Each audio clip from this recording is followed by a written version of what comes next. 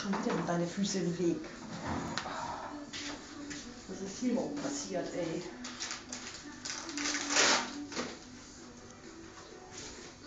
So. Abi, was ist los?